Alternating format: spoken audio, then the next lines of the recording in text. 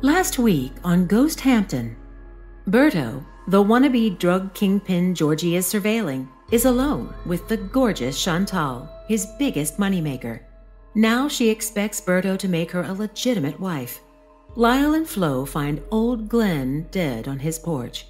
Then Flo collapses, attacked by a mad possum.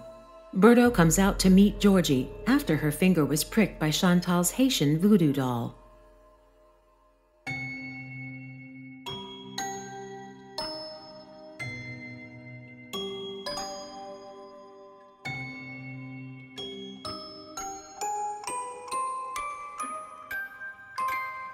Georgie decides to get out and meet Scarface head on.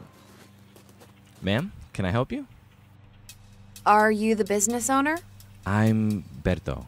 Berto Peña. I'm the manager here while my uncle's away. Is there a problem? No, just some suspicious activity reported in the area recently.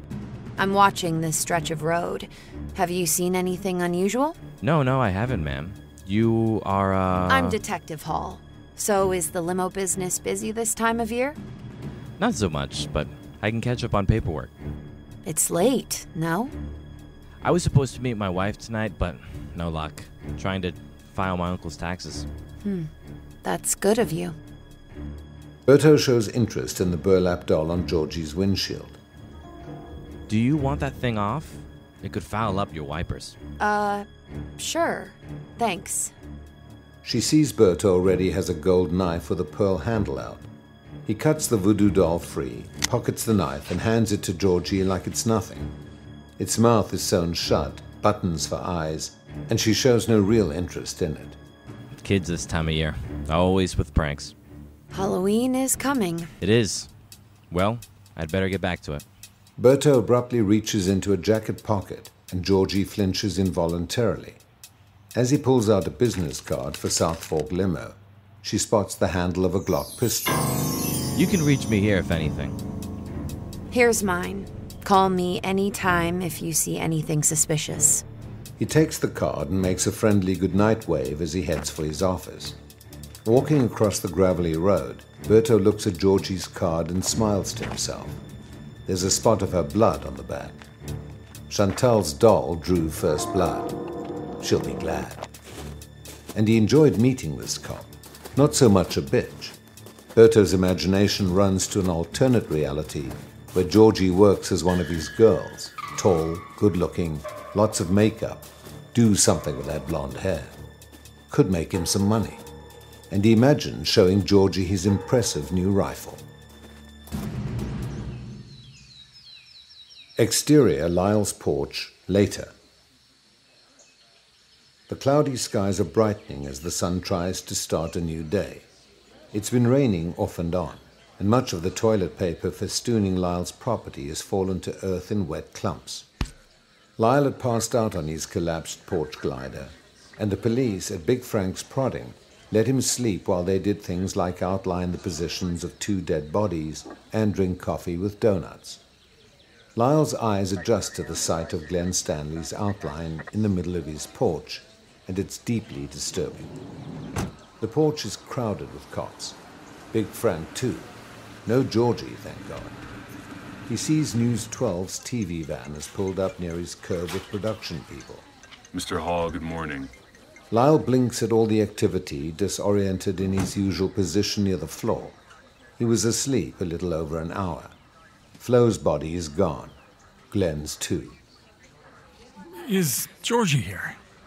No, just got off duty. Listen, I need to get your statement. You feel ready for that? Do I have to go downtown? Nah. Can you sit up at least?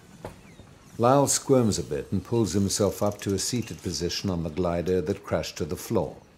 The glider Flo died on. Okay. Hit me. How well did you know Glenn Stanley? One of the ghost following campers. Lived in a tent in my lawn. Made good coffee. And Florence Hendricks?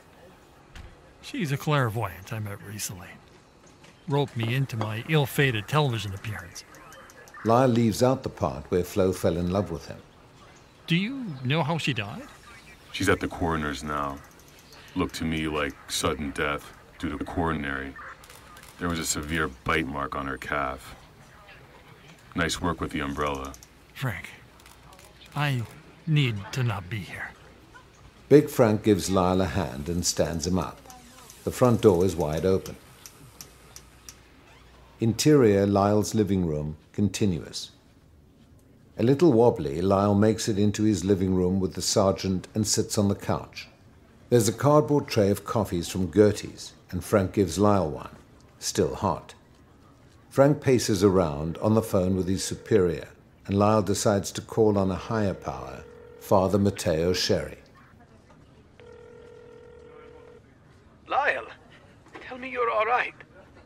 I'm okay, Father. Thanks.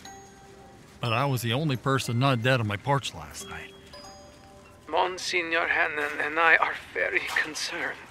Your house is on the TV news. We are thankful to God you are still alive. Please, how can I help you? Father, first, thank you for reviving me the other night outside Old Vic. Don't mention it. No problem. The pleasure was all mine. See how I'm learning American? You're a sponge. Yes.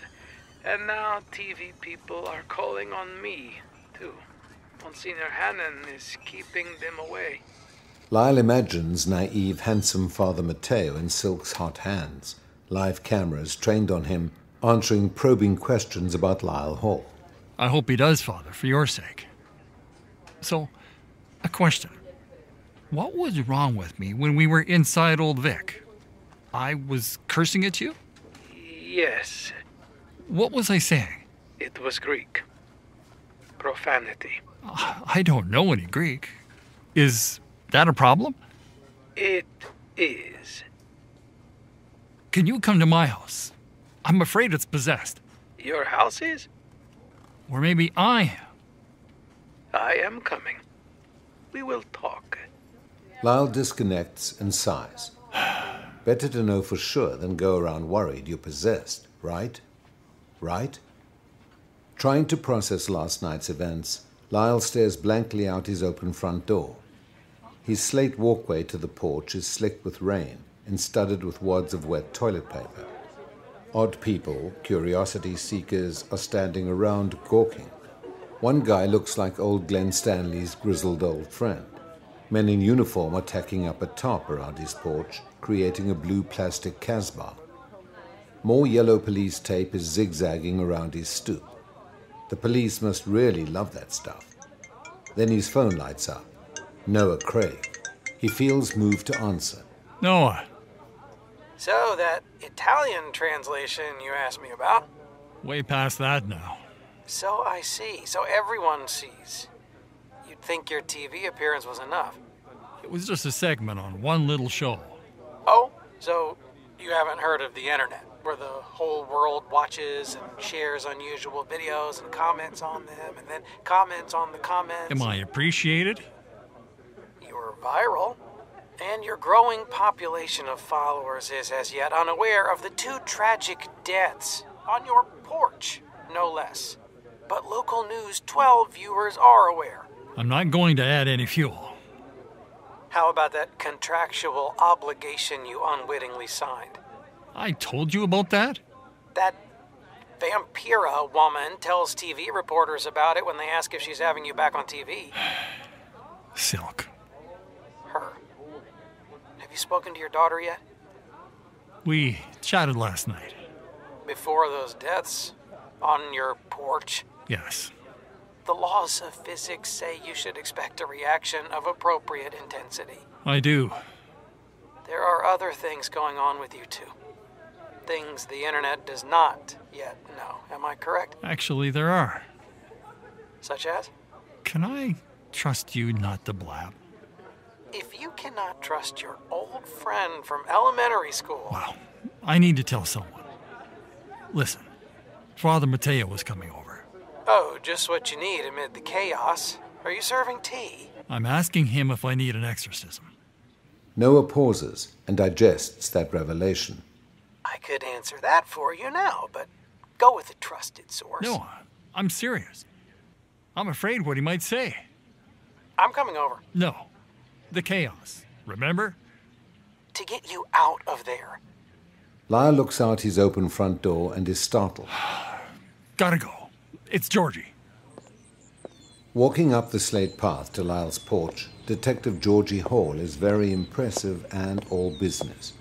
Her charcoal pantsuit, her white blouse still crisp despite her long duty last night, her head of blonde hair pulled back in a no nonsense bun. Georgie climbs the four steps to the porch like she lives here. Oh, she did live here. Lyle is quite visible sitting on the living room couch, but Georgie makes her way to Frank. Anything from the medical examiner? Not yet. The signs were natural causes for the woman. The old man, unknown. Georgie looks around the porch. There are many cops and other detectives standing around. She nods to some. There's a random umbrella. She steps toward the outline of Glenn Stanley's body. She turns again to Frank. Where was the woman's body? Uh, she was on the glider. The glider? Apparently, she was attacked by a rabid animal. Your father says it was a possum. She received a deep gash in her calf. Definitely an animal bite. And the glider? The deceased collapsed onto the glider, where your dad was sitting. Their combined weight made it collapse. At that point, my theory now, she, Florence Hendricks, had a coronary. Georgie tries to process Frank's description. And my father was. Police on duty came onto the porch and found her in your father's arms. Georgie scratches a raised eyebrow. She worked with your father on that TV show. But she wasn't the one he was infatuated with. Correct. The star of the show is alive and well and doing morning news interviews. Claiming she'll have Lyle back on her show tonight. Correct. Great. What was the old guy doing here? Don't know yet. Lyle says he was a friendly old man. Apparently, the animal, possibly a rabid possum, was gnawing on his thigh. Bloodstain. Possums are known to feed on carrion, dead meat. Georgie does not flinch at that. Excuse me a minute, Frank. Georgie moves through the doorway into the living room. Interior, Lyle's living room, continuous. Lyle knew Georgie was out on the porch, the crime scene, but her sudden entrance and her expression give him a start. What the fuck, Dad? What the fuck? Georgie, I. Shut it, Dad. I'm not listening. Georgie briefly looks around the living room, taking in the never vacuumed carpet, smudgy windows, dirty dishes piled in the adjacent dining room, weird exercise equipment, and verboten coffee cups everywhere. I am way past embarrassed by you. You've failed me as my father. You're fired. I'm disowning you, capiche? Outside are professionals I have to work with, and as far as they're concerned, my own father is ready for the loony bin. No wonder I get harassment. She takes a breath. Georgie, please. This is the house I grew up in. How'd you ever know? You were never here. And look what you've done with the place. I've seen nicer crack dens.